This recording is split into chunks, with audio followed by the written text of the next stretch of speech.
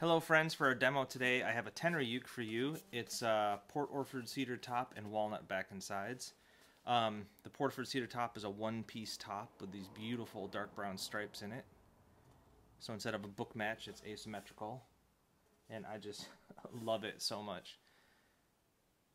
And uh, straight green, walnut back and sides, maple binding all around. It's got a uh, hemlock and uh, walnut neck and a very subtle but beautiful pistachio fretboard head plate and bridge. There's a graft right there at the 7th fret.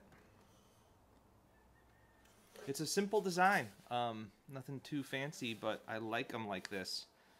Um, all all uh, North American wood. Um, yeah, and the Port Orford cedar always sounds great as a top wood.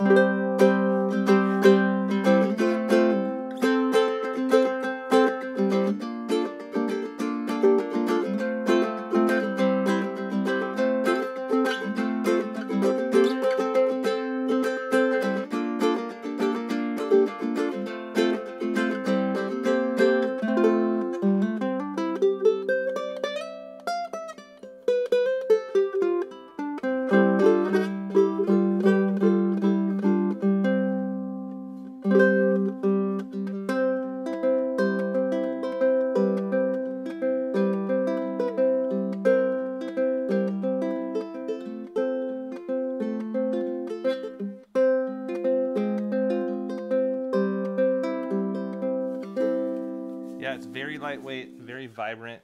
It's got, it's really got some good uh, punch to it, but good sustain too. There you go. That is number 526, ready for Kaylee. Cheers.